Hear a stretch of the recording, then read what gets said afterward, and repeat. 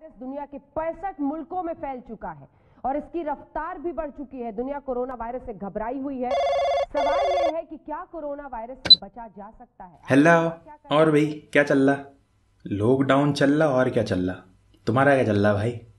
वही लॉकडाउन चल रहा क्वारंटीन चल रहा। वही वही। क्या चल रहा? क्या चल रहा? बुला उसे भी। ओए कॉन्फ्रेंस पे आ। हेलो क्या चल रहा क्या चल रहा ओए मुन्नी किधर है ओए मुन्नी कौन है? क्या चल रहा क्या चिल्ला एक मिनट। हेलो क्या चल